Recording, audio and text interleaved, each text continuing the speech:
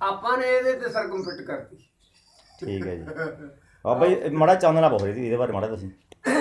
ਦਰਸ਼ਕਾਂ ਨੂੰ ਤੁਹਾਡਾ ਬਚਾਈਏ ਸਨੇਹਾ। ਆਹਾ। ਸੁਣ ਸਿੰਘ ਨਾਗੀ ਜੋਗਿੰਦਰ ਸਿੰਘ ਨਾਗੀ ਸਰ ਜੀ ਮੇਕਰ ਸਾਜਾਂ ਦੇ ਜਿਨ੍ਹਾਂ ਨੇ ਆ ਸਾਦੀ ਤੁੰਦੀ ਪਲੇਟ ਲਾ ਕੇ ਤਿਆਰ ਕੀਤੀ। ਦਾਸ ਨੇ ਇਹਦੇ ਉੱਪਰ ਸਰਗਮ ਲਾਉਣ ਦਾ ਇਹ ਉਹਨਾਂ ਨੂੰ ਫਾਰਮੂਲਾ ਦੱਸਿਆ। ਉਹਨਾਂ ਨੇ ਸਰਗਮ ਲਾ ਕੇ ਬਾਬਾ ਰਮਤਾ ਜੀ ਨੂੰ ਪੁੱਛਿਆ ਕਿ ਬਾਬਾ ਜੀ ਇਹ ਠੀਕ ਹੈ? ਮੈਂ ਕਿਹਾ ਇਹਨੂੰ ਮੈਂ ਹੁਣ ਅੱਗੇ ਦੇਖਦਾ ਭਾਈ ਇਹਦੀਆਂ 16 ਕਲਾਂ ਸੰਪੂਰਨ ਕਰਕੇ 16 ਸੁਰ ਦੇ ਪੂਰੇ ਕਰਕੇ, ਸਾਪਾ ਲਾ ਕੇ, ਕੜਾ ਲਾ ਕੇ ਫਿਰ ਪੁੱਛਾਂਗੇ ਭਾਈ, ਮੈਂ ਫਿਰ ਦੇਖੂੰਗਾ ਵੀ ਭਾਈ ਟਿਊਨਿੰਗ ਤੁਸੀਂ ਠੀਕ ਕਰ ਲੈਂਦੇ ਹੋ।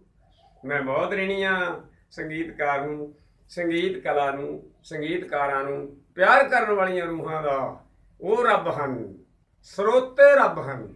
ਸਾਰੇ ਰੱਬ ਸਰੋਤੇ ਨੇ। ਗੁਰੂ ਤੇਗ ਬਹਾਦਰ ਸਾਹਿਬ ਦਾ ਵਤਨ ਹੈ ਘਟ ਘਟ ਮੈਂ ਹਰ ਜੂ ਵਸਾ ਸੰਤਨ ਕਿਹੋ ਪੁਕਾਰ, ਹਰ ਹਿਰਦੇ ਵਿੱਚ ਹਰੀ ਬੈਠਾ ਹੈ।